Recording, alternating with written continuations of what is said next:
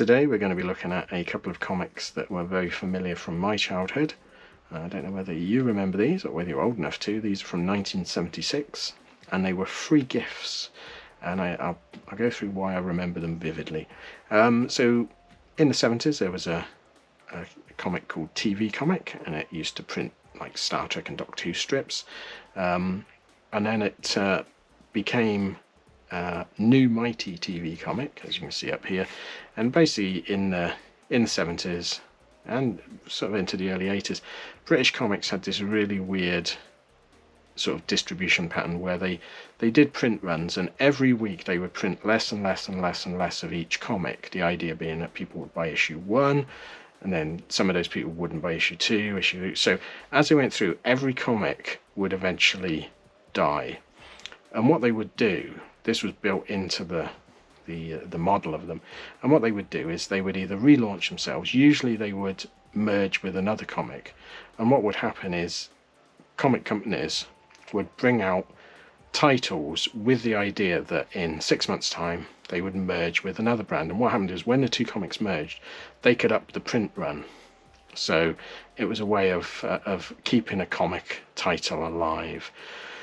So TV Comic merged a few times with different comics. Um, I think it merged with TV Action at one point, but basically it became Mighty TV Comic, and what that usually meant was exactly the same comic, just a slightly different uh, page count, or you might get some color pages. And to uh, to try and sort of tempt new readers in, uh, they gave away uh, over issues one and two, two of these are now what's called the Mighty Midget, as you can see up here. Um, and it was an, a, a, way of giving you a free comic so you, you felt like you got extra value. And I remember these because they were great because I honestly thought these were like new comics. They, I, I didn't know what they were. Um, so in this one, the first one was Doctor Who comic, and you got some very nice artwork on the front.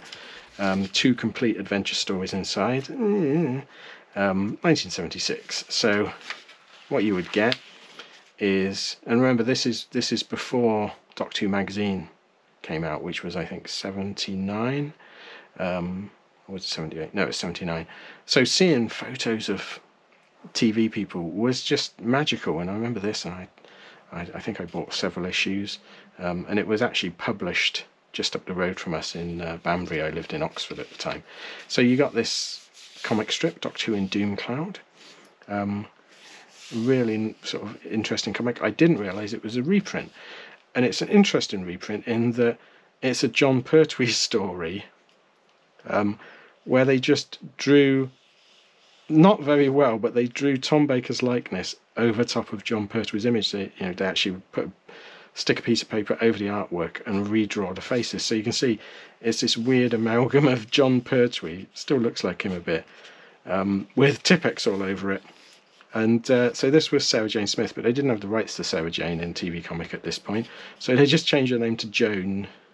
So it's not Sarah Jane, it's Joan. Um, but other than that, it's exactly the same story. Um, so yeah, they try to make the Doctor look like Tom Baker. I mean, at the, when I was a kid reading this, I didn't know. I thought this was a new strip. I mean, look, that's not the Brigadier. um, wearing glasses. It looks like Charles Hawtrey. But yeah, it's, it's a nice little short comic, um, sort of quite basic. Um, and then the second comic strip was just a reprint of the uh, the TV21 Dalek strip in black and white. A lot of comics seem to do this, um, and it just makes the, the superb painted artwork look pretty terrible. But again, it, it was amazing just to see the Daleks in a comic. So it's a it, it's basically a few pages from that strip. It was a very long running strip. It's been reprinted actually. Marvel did a, a, a version of all of it in colour. They went back to the original artwork when they had it. It's really nice. Um, it's getting quite rare again now. Um, so we go TV Comic Annual. So yeah, you got summer specials. They called them annuals. Um, Pippin, I remember Pippin. Pippin was for younger kids. It was like um, Mary Mungo and Midge, that sort of thing. But yeah, so so what? The first week you got this, and it was like, oh my god, you get a free comic. And then the second week you got a Star Trek comic, and Star Trek was huge. 1976, it was showing on BBC One. Um, that's my cat meowing. She wants to come in. Should we go and see what she's doing?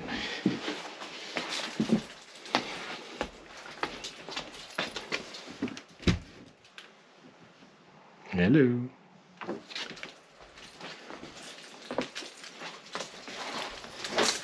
She likes to join in. So, hello. How you doing? You good girl? Yeah. So yeah, so Star Trek massive. Um, BBC One. It was prime time. Really big show in uh, the UK, but much later than it was in uh, the States.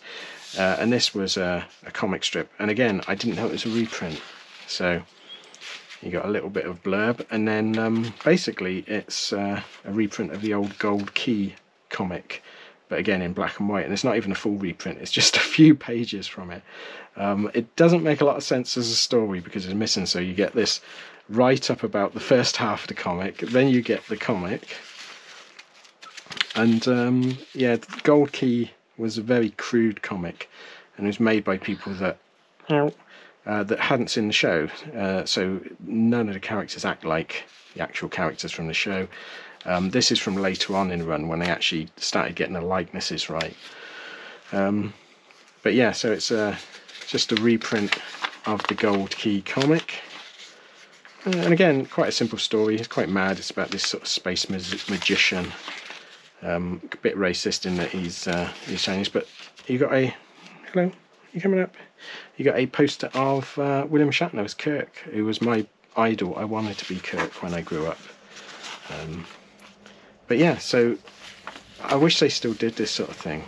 Um, but yeah, if you remember Mighty Midget comics or even TV comic, let me know. Um, you coming up?